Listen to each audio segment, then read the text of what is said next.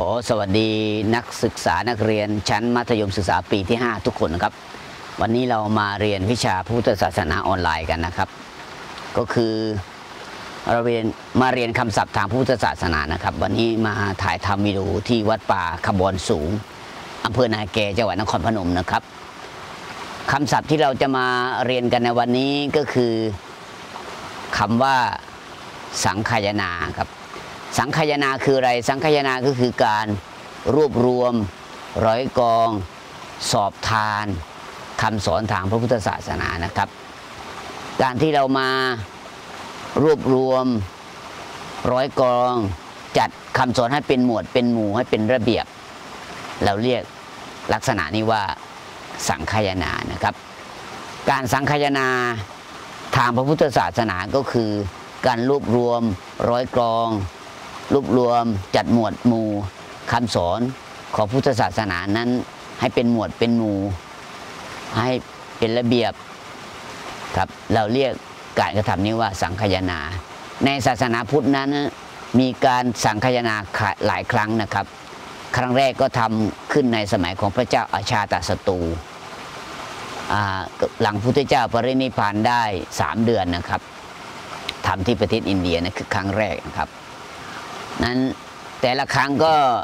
จะมีการทำนะครับ ที่สำคัญก็คือครั้งแรกเนี่ยก็คือทำที่ประเทศอินเดียสามเดือน หลังจากที่พระพุทธเจ้าได้ปรินิพานได้สามเดือนนะครับทำที่ประเทศอินเดีย พระเจ้าอาชาตศัตรูเป็นคนอุปถัมภ์การ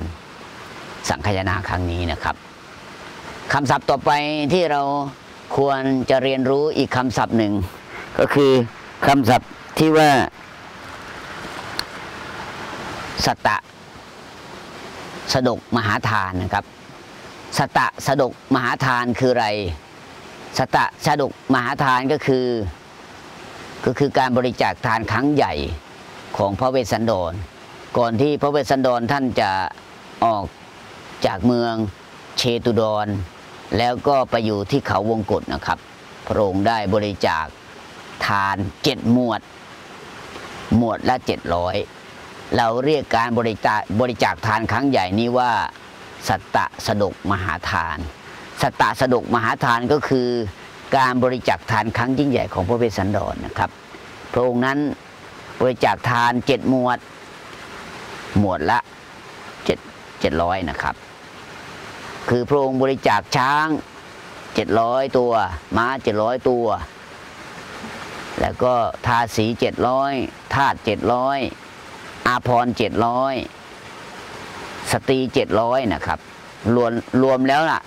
เจ็ดอย่างอย่างละเจ็ดร้อยเราเรียกการบริจาคทานครั้งใหญ่ของพระเวสสันดรนี้ว่า สัตตะสดกมหาทานนะครับคำศัพท์ต่อไปที่เราควรจะรู้ก็คือคำว่าสวนโมก สวนโมกเป็นคำเรียกชื่อย่อศัพท์เต็มก็คือสวนโมกขะพระรารามสวนโมกขะพระรารามนี้เป็นที่ที่ถูกก่อตั้งโดยพระพุทธทาสภิกขุนะครับ พระพุทธทาสภิกขุก็ชื่อเดิมท่านชื่อเงื้อมนะครับ อินทปัญโยท่านตั้งสวนโมกขึ้นมา หรืออ สวนโมกขพระรารามเนี่ยซึ่งแปลว่าอาราม อันเป็นกำลังแห่งการหลุดพ้นนี่นะครับ โมฆะพลาราม อารามอันเป็นพลังแห่งการหลุดพ้นอารามที่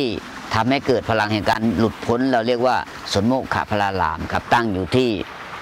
อำเภอชัยยาจจังหวัดสุราษฎร์ธานีนะครับ งั้นเมื่อพูดถึงสวนโมก ก็หมายถึงสำนักที่หลวงพ่อพุทธทาสเป็นคนก่อตั้งขึ้นครับ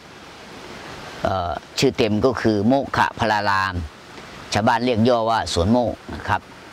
ปัจจุบันอยู่ที่อำเภอชายาจังหวัดสุราษฎร์ธานีนะครับ อันนี้เป็นสิ่งที่เราควรจะรู้เหมือนกันนะครับคำศัพท์ต่อไปที่เราควรจะรู้คือคำว่าองค์กรชาวพุทธ องค์กรชาวพุทธก็คือองค์กรชาวพุทธที่รวมตัวกันขึ้นมา เพื่อดำเนินกิจการอย่างใดอย่างหนึ่งนะครับ เพื่อส่งเสริมธนุบำรุงพระพุทธศาสนา เพื่อส่งเสริมปกป้องคุ้มครองพุทธศาสนา ดังนั้น เมื่อพูดถึงองค์กรชาวพุทธก็หมายถึงกลุ่มคนที่รวมตัวกันขึ้นมา เพื่อช่วยเหลืองานด้านพระพุทธศาสนา ช่วยปกป้องคุ้มครองรักษาธนุบำรุง เราเรียกองค์กรนี้ว่าองค์กรชาวพุทธนะครับ